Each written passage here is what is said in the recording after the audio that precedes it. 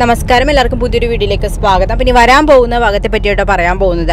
അങ്ങനെ അപ്പു ആകെ ദേഷ്യം പിടിച്ചിരിക്കുകയാണ്. പാവം പിടിച്ച ബാലം വരുമ്പോൾ ബാലന്റെ അടുക്ക വരെ ചോദിക്കുന്നുണ്ട് എന്നെ പറ്റിക്കാൻ വേണ്ടിയിട്ട് ബാലേട്ടനും ഹരിയും കൂടെ നടത്തുന്ന നാടകമാണോ? ബാലേട്ടനെ അറിയാമായിരിക്കും. ഹരി എവിടെയാണ് ഉള്ളതെന്നും ബാലേട്ടനെ ഒളിപ്പിച്ചു വെച്ചിരിക്കുകയാണോ? ഹരി എന്നൊക്കെ ചോദിക്കും കേട്ടോ ഇത് കേൾക്കുന്ന ബാലൻ ഞെട്ട് കേട്ടോ ചെയ്യുന്നത്. നീ എന്താ മോളെ ഇങ്ങനെയൊക്കെ പറയുന്നത്? നിറവേറുമായിട്ടിരിക്കുന്ന നിന്നെ എനിക്ക് പറ്റിക്കേണ്ട ആവശ്യമുണ്ടോ? എന്ന് ചോദിക്കുന്നു. അത് കഴിയുമ്പോഴത്തേക്കും അഞ്ചും ശിവനും അങ്ങോട്ടേക്ക് എത്തുന്നുണ്ട്. അപ്പോൾ അഞ്ചു പറയുന്നത് അവളവിടെ നിപ്പുണ്ട്. ഞാൻ രണ്ടെണ്ണം പറയട്ടെ എന്ന് ചോദിക്കുമ്പോഴത്തേക്കും ശിവൻ പറയും നീ ഇപ്പോൾ ഒന്നും പറയാൻ നിൽക്കേണ്ട എന്താ സംസാരത്തിലാണ് അത് കഴിയട്ടെ എന്ന് ചോദിക്കുന്നു. അപ്പോൾ ഉടനെ തന്നെ തട്ടി കയറിക്കൊണ്ട് ശിവന്റെ അടുക്ക് ചെന്ന് അപ്പു ചോദിക്കട്ടെ ചെയ്യുന്നത് ഹരി എവിടെ?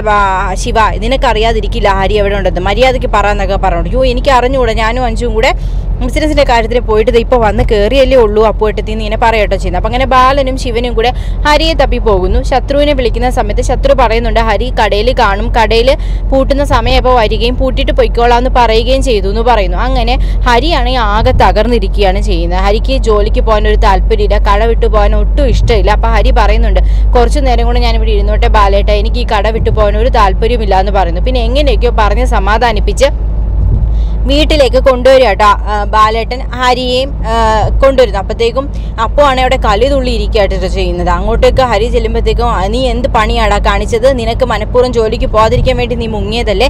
ഇനിയിപ്പോൾ ഒന്നും ആലോചിക്കണം നീ നാളെ എന്തായാലും ജോലിക്ക് പോകണം ഇനിയിപ്പോൾ എന്തെങ്കിലും വഴക്കുണ്ടാക്കി കഴിഞ്ഞാൽ ഹരി ചിലപ്പോൾ നാളെ ജോലിക്ക് പോകത്തില്ല എന്നുള്ള തീരുമാനം എടുത്ത് പോകാതിരുന്നാലോ എന്ന് വെച്ചിട്ട് ഹരിയുടെ അടുക്ക അധികം ദേഷ്യമൊന്നും പെടാതെ അപ്പു നൈസായിട്ട് ഡീൽ ചെയ്യട്ടോ ചെയ്യുന്നത് അപ്പോൾ ഹരി പറയുന്നുണ്ട് "ആ, ഇനിയിപ്പം എനിക്ക് നാളെ ജോലിക്ക് പോകാനൊന്നും സാധിക്കുമെന്ന് തോന്നുന്നില്ല എന്ന് പറയുമ്പോഴത്തേക്കും എടാ നീ നാളെ ജോലിക്ക് പോയേ പറ്റത്തുള്ളൂ. അതുപോലെ തന്നെ നീ ബാലട്ട വാങ്ങി തന്ന ഡ്രസ്സ് ഇട്ട് തന്നെ പോയാൽ മതി. നമുക്ക് പിന്നീട് വേറെ ഡ്രസ്സ് മേടിക്കാന്നൊക്കെ പറയട്ടോ ചെയ്യുന്ന അപ്പു. എങ്ങനെയെങ്കിലും ഹരിയെ ജോലിക്ക് വിടുന്നതിന് വേണ്ടിയിട്ട് ഹരിയാണെങ്കിൽ ടെൻഷൻ അടിച്ചിരിക്കുകയാണ്. എന്തെങ്കിലും ഇങ്ങനത്തെ ജോലിക്കൊക്കെ പോയി കഴിഞ്ഞാൽ ഒരുപാട് ടാർഗറ്റ് കാണും. അത് അച്ചീവ് ചെയ്യണം. ഇല്ലാന്നുണ്ടെങ്കിൽ ഒരുപാട് പ്രഷർ കിട്ടും. ജോലികളൊക്കെ ഒഴിവ് ദിവസം പോലും ചെയ്തു തീർക്കേണ്ടതായിട്ട് വരും. കുറേ കഷ്ടപ്പെടേണ്ടതായിട്ട് വരും. അന്വേഷിച്ചപ്പോൾ അതൊക്കെയാണ് താൻ അറിയാൻ കഴിഞ്ഞത് എന്നൊക്കെ ഓർത്ത് വിഷമത്തിലാട്ടോ അപ്പോൾ ഇതൊക്കെ അപ്പൂനോട് പറഞ്ഞിട്ടും അപ്പൂന് അതൊന്നും മനസ്സിലാവുന്നില്ല. ഹരി ജോലിക്ക് പോകുന്നില്ല എന്നുള്ള തീരുമാനത്തിൽ തന്നെ എത്തി നിൽക്കുകയാട്ടോ ചെയ്യുന്നത്. ഇത് കേട്ടിട്ട് അപ്പു നേരെ ഹോളിലേക്ക് വരികയാണ് ചെയ്യുന്നത്. അവിടെ ബാലനും ദേവിയും മഞ്ജുവും ശിവനും എല്ലാവരും നിൽക്കുകയാണ്. അപ്പം തന്നെ വന്ന് ബാലന്റെ അടുക്ക തട്ടിക്കയറുകയാട്ടോ ചെയ്യുന്നത്. ഹരി നാളെ ജോലിക്ക് പോവില്ലെന്നാ പറയുന്നതെന്ന് പറയുന്നത്. അപ്പോൾ ബാലൻ പറയാം അതൊക്കെ ചുമ്മാ പറയും നാളെ രാവിലെ അവൻ പൊയ്ക്കോളൂ എന്ന് പറയും. ആ ബാലേട്ടൻ ഇതൊക്കെ നിസ്സാരമാണല്ലേ അപ്പോൾ ഹരി ജോലിക്ക് പോകുന്നതിൽ ബാലേട്ടന് വലിയ താല്പര്യമൊന്നുമില്ല. അതുകൊണ്ടല്ലേ ബാലേട്ടൻ ഈ മാതിരി വർത്തമാനം പറയുന്നത്. നിങ്ങൾ എല്ലാവരും കൂടെ നടത്തുന്ന നാടകമാണ്. എല്ലാവരും കൂടെ ചേർന്ന് എന്നെ പറ്റിക്കുകയാണ് ചെയ്യുന്നത്. ബാലേട്ടനാണ് എല്ലാത്തിനും കാരണം. ഏ അനിയന്മാരെ താളത്തിനങ്ങ് ഇരുന്ന് തുള്ളിക്കോളൂ. അനിയന്മാരാകട്ടെ ബാലേട്ടൻ എന്തു പറയുന്നു? ആ താളത്തിൽ തുള്ളാൻ വേണ്ടി ഇരിക്കുകയാണ്. മുന്നും പിന്നും പോലും ആലോചിക്കത്തില്ല. എന്നിട്ട് ദേ ഇപ്പൊ ദേ അവൻ പറയുന്നു അവന് ജോലിക്ക് പോകാൻ പറ്റത്തില്ലെന്ന് എപ്പോഴും ഈ കണക്കും എഴുതിക്കൊണ്ട് ആ കടയിൽ ഇരിക്കണമെന്നാണോ? ഹരിയുടെ ആഗ്രഹം ബാലേട്ടനും അങ്ങനെ തന്നെയാണ്. അനിയന്മാരെ എല്ലാം കൂടെ നിർത്തിക്കൊണ്ട് പോകണം. അനിയന്മാരുടെ ജീവിതം നശിച്ചാലും കുഴപ്പമില്ല. അവരൊന്നും സ്വന്തമായിട്ട് രക്ഷപ്പെടുന്ന ഒന്നും ബാലേട്ടന് സഹിക്കാനായിട്ട് സാധിക്കത്തില്ല എന്നും പറഞ്ഞുകൊണ്ട് ബാലന്റെ നേരെ അങ്ങ് ചാടി വീഴും കേട്ടോ അപ്പു. അഞ്ചു ആണെങ്കിൽ ഒന്നാമത്തേലെ ദേഷ്യം പിടിച്ചിരിക്കുകയാണ് ചെയ്യുന്നത്. അപ്പുവിന് രണ്ടെണ്ണം കൊടുക്കണമെന്നും പറഞ്ഞു തന്നെയാണ് വരുന്നത്.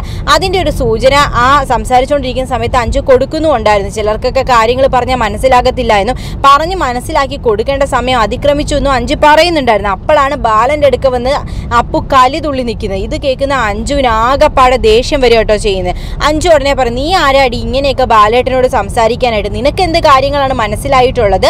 നീ എന്തെങ്കിലും കണ്ണടച്ച് പാൽ കുടിക്കുകയല്ലേ ചെയ്യുന്നത്? നിന്റെ ഡാഡി എന്ത് ചെയ്താലും നിനക്കൊരു പ്രശ്നവും ഇല്ല. അപ്പോൾ ഉടനെ നീ എന്തിനാടി എന്റെ അടുക്ക ചാടിച്ചോണ്ട് വരുന്നത്? ഞാൻ ബാലേട്ടനോടല്ലേ സംസാരിച്ചത്? അപ്പു ചോദിക്കുമ്പോഴത്തേക്കും അങ്ങനെ വല്യേട്ടനോട് അനാവശ്യമായിട്ടൊന്നും ഇവിടെ സംസാരിക്കാനും മാത്രമുള്ള അധികാരമൊന്നും നിനക്കില്ല. നിന്റെ ഡാഡി ചെയ്യുന്ന തോന്നിവാസങ്ങൾ ആദ്യം നിർത്താനായിട്ട് നീ നിന്റെ ഡാഡിയുടെ അടുക്ക പോയി ആദ്യം സംസാരിക്കുക അതിനുശേഷം ബാലേട്ടനെ കുറ്റം പറയാമെന്ന് പറഞ്ഞു. നിന്റെ ഡാഡി എന്ത് ചെയ്തു എന്നാ നീ പറയുന്നതെന്ന് അപ്പു ചോദിക്കും. നിന്റെ ഡാഡി എന്തൊക്കെ ചെയ്തിട്ടില്ല? നിന്റെ ഡാഡി ഇവിടെ വന്ന ആ പിറന്നാളിന്റെ സമയത്ത് ഇവിടെ നിന്ന് അപ്പച്ചി ഇറക്കി വിട്ടതിന്റെ ദേഷ്യത്തിലെ പോയതല്ലേ നമ്മളെ തകർക്കുന്നതിന് വേണ്ടിയിട്ട്. വീണ്ടും തുടങ്ങിയിട്ടുണ്ട് നിന്റെ ഡാഡി ഓരോരോ പണികളായിട്ട്.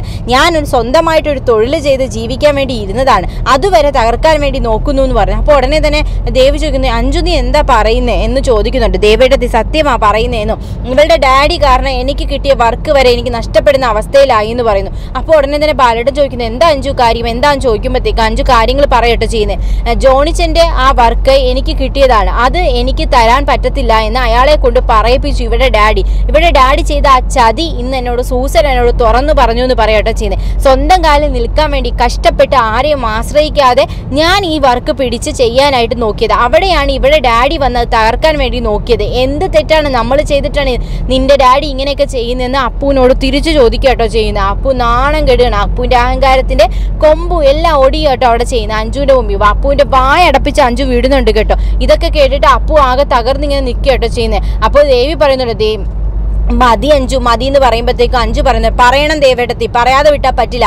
ഇവളും കുറേ കാര്യങ്ങളൊക്കെ മനസ്സിലാക്കേണ്ടിയിരിക്കുന്നു. ഇവളുടെ ഈ അവസ്ഥ ഓർത്തിട്ട് നമ്മൾ പല കാര്യങ്ങളും മറച്ചു വെക്കുന്നത് പക്ഷേ ഇവൾ അതനുസരിച്ച് മുതലെടുത്ത് തള്ളി കയറിക്കൊണ്ടിരിക്കുകയാണ് ചെയ്യുന്നത്. ഇപ്പൊ ഇവൾ ഇവിടെ കിടന്ന് എന്തൊക്കെ കോപ്രായാണ് കാണിക്കുന്നത്? ബാലേട്ടനും അതുപോലെ ശിവേട്ടനും എല്ലാവരും പറഞ്ഞിട്ടുണ്ട് ഹരിയേട്ടന്റെ അടുക്ക ജോലിക്ക് പോകണമെന്ന്. ആ ഹരിയേട്ടനെ മനസ്സിലാക്കാനുള്ള സാമാന്യ ബുദ്ധി പോലും ഇവക്കില്ല. ഹരിയേട്ടന്റെ ഇഷ്ടം എന്താന്ന് പോലും തിരിച്ചറിയാതെയല്ല ഇവൾ ഇവിടെ ഇഷ്ടങ്ങൾ അടിച്ചേൽപ്പിക്കാൻ പോകുന്നത്?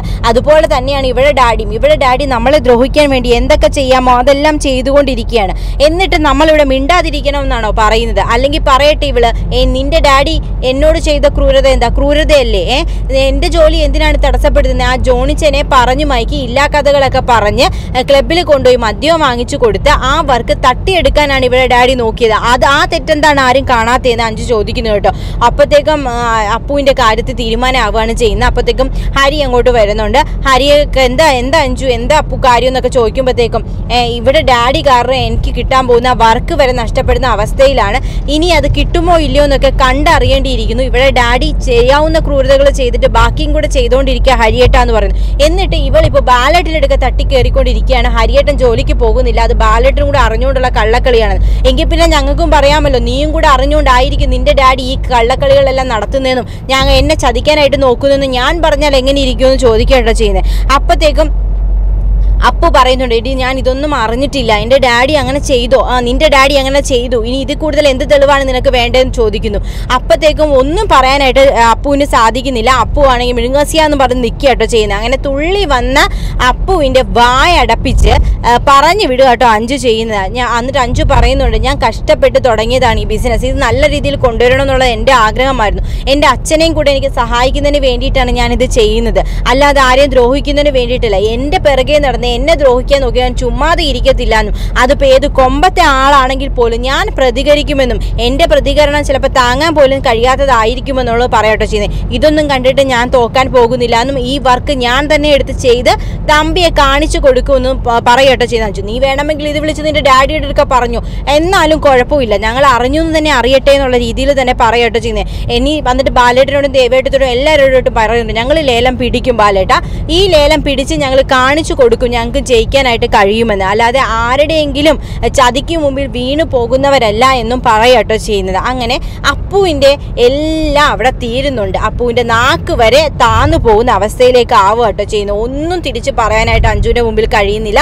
അങ്ങനെ അഞ്ചു കണക്കിന് കർണത്തടിക്കുന്ന രീതിയിൽ തന്നെ കണക്കിന് പൊട്ടിച്ച് വിടുക കേട്ടോ ചെയ്യുന്ന അപ്പുവിനെ. അപ്പു ആകെ തകർന്ന് തരിപ്പടമായിട്ട് അവിടെ പോയിരുന്ന് കരയാണ് ചെയ്യുന്നത്. അത് തന്നെ വേണം അപ്പുവിന് കുറച്ച് അഹങ്കാരം കൂടിയിട്ടുണ്ട്. അപ്പുവിന്റെ സ്വഭാവത്തിലൊക്കെ മാറ്റങ്ങളും വന്നു തുടങ്ങിയിട്ടുണ്ട്. എല്ലാവരോടും എന്തും പറയാമെന്ന അഹങ്കാരത്തിലാണ് ഇപ്പോൾ അപ്പു ഇരിക്കുന്നത്. ആ അഹങ്കാരമെല്ലാം പൊളിച്ചെടുക്കുക അഞ്ചു കയ്യിൽ കൊടുക്കുന്നതും നമുക്ക് വരും ഭാഗങ്ങളിൽ കാണാൻ സാധിക്കും. വീഡിയോ ഇഷ്ടപ്പെട്ട ലൈക്ക് ചെയ്യണേ സബ്സ്ക്രൈബ് ചെയ്യണേ. മറ്റൊരു വീഡിയോയിൽ വീണ്ടും കാണാം.